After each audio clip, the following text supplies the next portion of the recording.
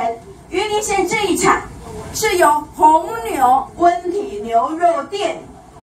粗暴。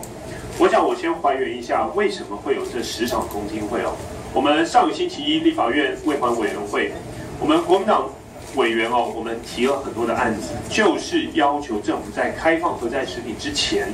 哦，我们一个提案是要求政府至少至少要开二十场公听会，哦，但是后来民进党委员以及包括卫福部呃食药署以及呃农委会的官员，他们不同意，他们砍一半，说他们只能办十场，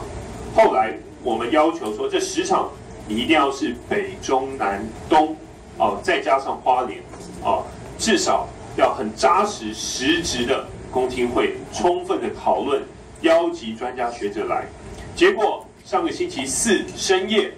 紧急发出一份公听会的名单，等于说星期五啊才公告。